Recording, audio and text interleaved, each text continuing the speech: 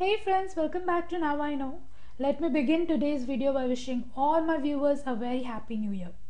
Uh, I'm so happy that so many of you are requesting for videos and I'm working on them. One by one I will upload all of them. So let's begin today's requested video and it is uh, difference between microtubules and spindle fibers. But as you can see the title that I have given is microtubule and spindle fiber. Is there a difference? That is because spindle fiber is nothing but microtubule itself. It is one of the function of the microtubules to separate the chromosomes during cell division. Now that we know it is the same thing, let's begin today's video. Now as we know, uh, microtubule is part of our cytoskeletal system and what cytoskeletal system does it gives shape and structure to the cell it helps in the movement of the cell also in the cytoplasmic transport and specifically for microtubule the functions are cytoplasmic transport axoneme movement that is nothing but flagella movement. And what we are going to talk about here it is the chromosome movement that is the spindle fiber formation. All right and microtubule is nothing but a polymer of repeated dimer of alpha beta tubulin. Okay just uh, for understanding remember that uh, this alpha beta tubulin as a dimer it is present in the cytoplasm okay? And this dimer will start arranging itself one above the other like here alpha beta alpha beta. And this arrangement result in synthesis of a cylindrical hollow tube. And that is our microtubule. Okay? Like this there are 13 molecules in a cylindrical way it will be arranged. And that tube is the microtubule and uh, as I said alpha beta dimer will be present and they will start arranging themselves. That arrangement is not random in the cell okay? Because there has to be a specific site where they will start assembling themselves.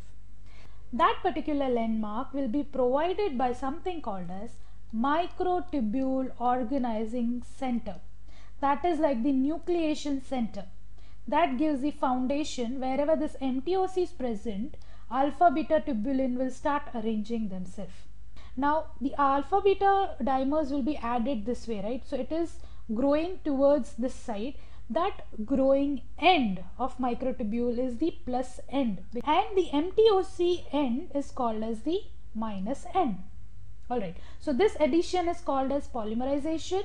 That means the microtubule will increase in length. Okay. There will be a lengthening of microtubule but when there has to be a shortening of microtubule there will be depolymerization which is nothing but removal of these alpha beta microtubulin so this uh, microtubule will shorten in length.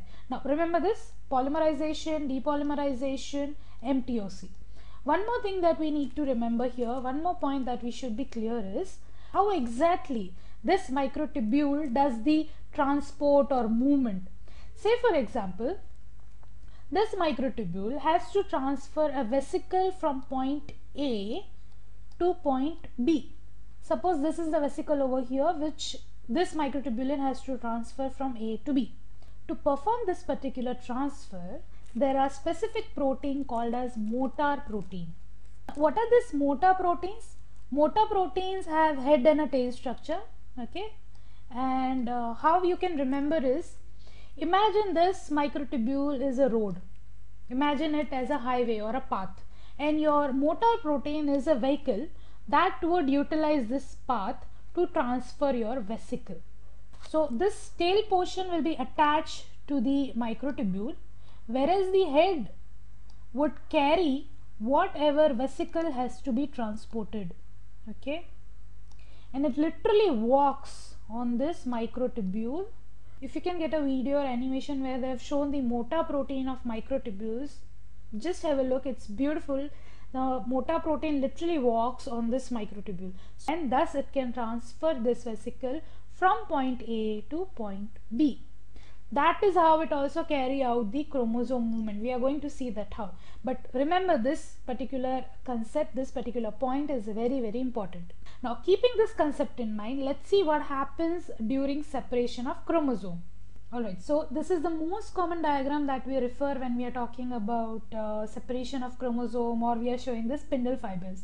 Now, we saw that we were talking about mtoc the first concept uh, when the cell is preparing to divide it replicates its dna right the chromosomes are double in number along with that it also replicates something called as centrosome now this double centrosome will move towards the two poles of the cell. I've shown here in yellow. This is the centrosome. We also call centrioles right? That contains centrioles. And that is nothing but it has MTOC in it microtubule organizing center. And what is the importance of MTOC it is a foundation from where the alpha beta tubulin will start arranging themselves.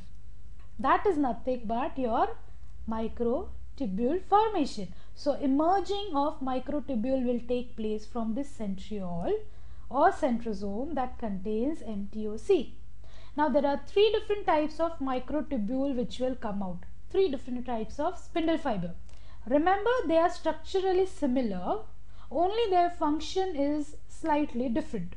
So let's see all three microtubules one by one. The first type of spindle fiber or microtubule comes out is called as the kinetochore microtubule. What they do is they will attach themselves at the point of kinetochore in the chromosome. So on both the side, kinetochore microtubule will attach to the kinetochore of chromosome. So all the chromosomes at the equator will be now attached on both the side. All the sister chromatids will be attached by the kinetochore microtubule. The second type is polar microtubule they do not attach to chromosome at all but what they do is they overlap themselves at the equator okay see here i have shown the overlapping of polar microtubule at the equator. What is this? I will talk about it just in a while. And the third type is the astral microtubule. That is emerging from MTOC again but it is not going in the center of the cell at all. It is only towards the pole of the cell.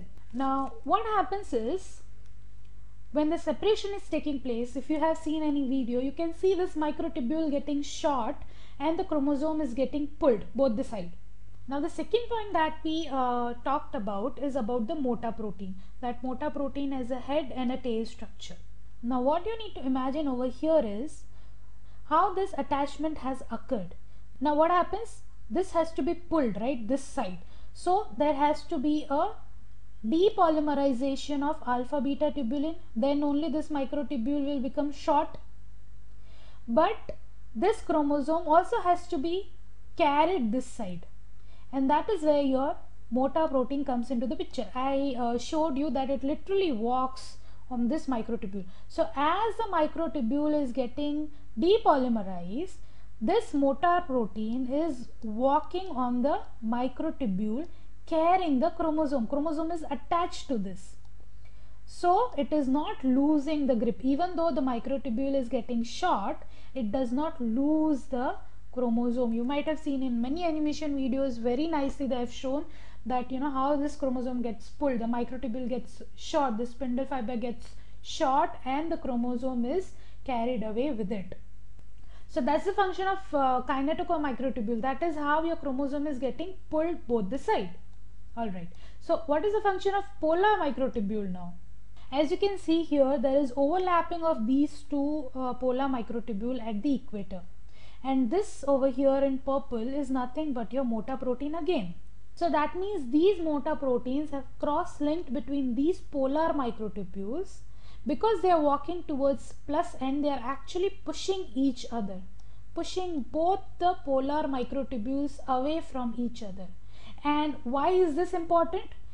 By doing so it is pushing the centrosome towards the pole and making sure that the chromosomes are getting pulled away enough towards the each pole of the cell even the astral microtubule does the same function. The growing end is towards the cortex region of the cell. As a result, is pulling the centrosome towards the edge or towards the cortex region of the cell. So the chromosome gets pulled enough away from each other. So that is what is the importance of spindle fibers. There are three different types and now we understood that how exactly it pulls the uh, chromosome and spindle fibers is nothing but it is microtubule itself. It is only one of the function of microtubules. I hope this was easy to understand. Do subscribe to the channel for new video every week. Uh, so that's all for now. I will see you next time. Until then keep learning